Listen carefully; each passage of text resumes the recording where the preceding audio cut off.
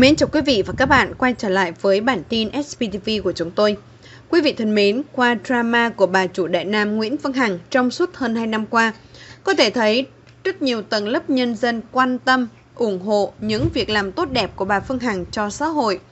Qua tìm hiểu mới đây chúng tôi nhận được một lá đơn của một cựu luật sư Tòa án Nhân dân tối cao đã nghỉ hưu. Bác đã phân tích rất sâu sắc và trí tuệ về drama của bà Phương Hằng, được đông đảo người đọc cho là nói hộ suy nghĩ của rất nhiều người dân. Nguyên văn như sau. Việc sau Nguyễn Phương Hằng bị bắt giam khởi tố điều tra và sắp tới bị xét xử tại tòa vẫn gây bão gây sốt trong dư luận và xã hội suốt hơn 2 năm qua. Ngày nào cũng có hàng trăm bài viết nói về Nguyễn Phương Hằng, đa số đều cảm thương Nguyễn Phương Hằng, một người phụ nữ dũng cảm hy sinh, quên lợi ích bản thân, làm rất nhiều việc tốt, giúp người giúp dân, giúp nước. Ngoài ra thì bà Phương Hằng còn đấu tranh không khoan nhượng với đám nhà báo luật sư bẩn thoái hóa sa đọa. Viết bài thì mất chuẩn mực không theo lời dạy của Chủ tịch Hồ Chí Minh.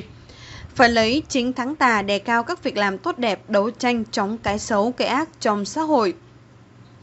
Nguyễn Phương Hằng cũng đấu tranh với lăng bam lừa đảo không chữa khỏi bệnh cho bất cứ ai, nhưng được một số kẻ nổi tiếng trong xã hội tôn vinh là thần y lừa đảo hàng chục năm trời. Một đám nghệ sĩ mà xuất thân học hành không ra gì, lợi dụng truyền thông rồi tự lăng xe, đánh bóng tên tuổi lợi dụng sự nổi tiếng. Mở tài khoản cá nhân kêu gọi quyên góp tiền từ thiện. Chúng có rất nhiều biểu hiện ăn chặn tiền, giúp đỡ đồng bào nghèo gặp khó khăn trong cơn bão lũ thiên tai. Việc bà chủ Đại Nam Nguyễn Phương Hằng bị bắt giam, bị khởi tố hình sự, sắp tới phải đối mặt trước một phiên tòa khiến bao người sửng sốt bất ngờ. Thực tế, trong lịch sử tố tụng chưa có ai được ngợi khen đề cao được. Đa số người dân yêu thương dành những tình cảm sâu sắc cho bị can Nguyễn Phương Hằng. Trong khi hàng trăm bị can bị cáo là tướng lĩnh, cán bộ cao cấp, giữ nhiều trọng trách lớn rất lớn trong bộ máy đảng nhà nước, bị phê phán dữ dội, bị lên án gay gắt. Lòng dân là vậy đó, dân cam ghét khinh bỉ quan lại tham nhũng, nhưng luôn dành những tình cảm trân quý với những người biết yêu thương, chia sẻ tình cảm giúp đỡ họ trong khó khăn hoạn nạn. Không có công với dân với nước làm sao mà được như vậy? Nguyễn Phương Hằng vi phạm Điều 331 Bộ Luật Hình sự vì lý do xúc phạm đề tư ba cá nhân Vio Hoài Linh Hàn Si, trong khi ba người này trong hàng năm qua mạng xã hội, dư luận xã hội đã phản ánh nhiều việc làm không tốt, không có đạo đóng góp gì cho xã hội.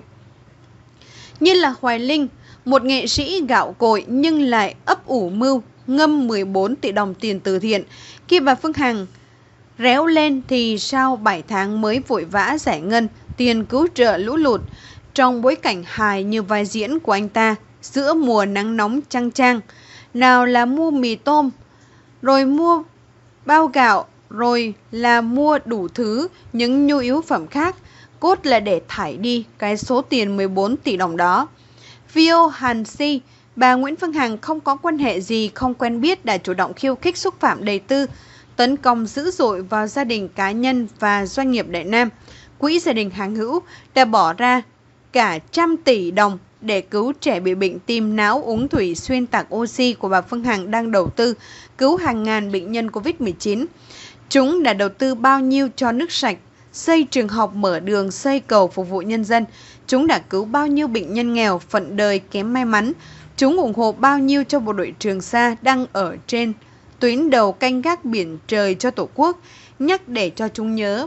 Nguyễn Văn Hằng đã ủng hộ tài sản tới 170 tỷ đồng. Giá trị hiện tại có thể lên tới cả ngàn tỷ đồng.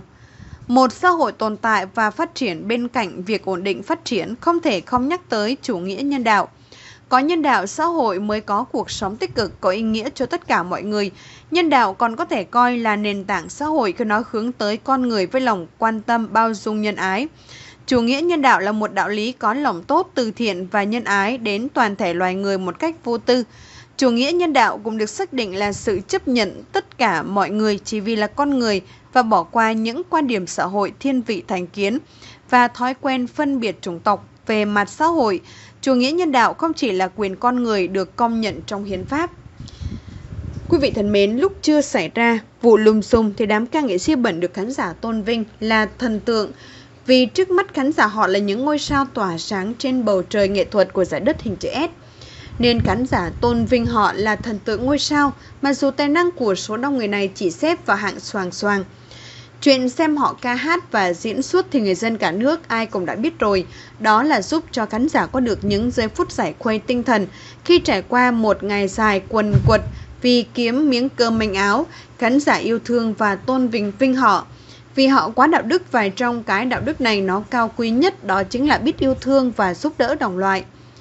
Đứng trên TV, hầu hết họ đều nói về đạo nghĩa và luôn khẳng định mình là người sống có đạo nghĩa nhất trong mấy chục triệu dân. Họ luôn nói là sẵn sàng nhịn đói để giúp đỡ cho người khác, được ăn no và cũng nhờ vào những câu đạo nghĩa như vậy, nên tên tuổi của họ được sáng lóa trong mắt khán giả. Nhưng nào ngờ khi bị khán giả lột trần thì họ lại rõ ràng ra là một nhóm đám ca nghệ sĩ thối rửa đạo đức mà bị thối rửa hoàn toàn luôn. Nó thúi từ chuyện yểm tiền kêu gọi từ thiện đến chuyện chuyển số tiền ấy đi vòng vòng. Rồi sau khi theo các kiểu rác sao kê, rồi chửi khán giả, nói xấu khán giả, ham he khán giả phải nói thẳng ra là bộc lộ ra hết những cái bản tính đe hèn thâm độc con ấu trĩ. Bức xúc đến mức tột độ vì sự mất dạy của cô Thủy Tề này. Tất cả những người dân các tỉnh miền Trung vừa vượt qua được ranh giới của cái chết do cơn bão lũ kinh hoàng đổ bộ và bây giờ phải hứng chịu sự đói khát, nên nói thẳng ra là tinh thần của họ, sự hoảng loạn vẫn chưa được ổn định. Lúc trước xem cái clip cô Thủy Tề này vừa phát tiền xong thì có một anh thanh niên trong ekip của cô ta xô mạnh mà lại do chúng người lớn tuổi. Cơn bão lũ quái ác đổ ập vào các tỉnh miền Trung vào năm 2020 mà người dân các tỉnh miền Trung, bà con của họ vẫn sống rải rác trên khắp mọi miền đất nước. Cổ may là những người lớn tuổi bị xô vào những người bị cô ca sĩ Thủy Tề chỉ ngón tay thẳng mặt với vẻ quá mất dạy. Bà con họ chưa nhìn thấy, chứ nếu mà nhìn thấy thì chắc chắn chuyện này sẽ không nhỏ đâu. Một cô ca sĩ làm từ thiện bằng tiền đóng góp của các nhà hảo tâm – trong và ngoài nước mà cô ta còn hỗn láo đến mức độ như vậy, thì thử hỏi nếu như làm bằng tiền túi của cô ta thì còn tồi tệ đến mức độ nào. Suốt hơn 2 năm qua, với cái kiểu ăn nói tảo lao và thường xuyên chỉ trọm vào mặt những người đáng tuổi cha chú của mình, thì khán giả khẳng định rằng cô này lúc nhỏ cũng không thể cha mẹ dạy dỗ không đến nơi đến chốn và cũng có thể là cô này rất khó dạy. Với cái kiểu hành xử cực kỳ là mất dạy.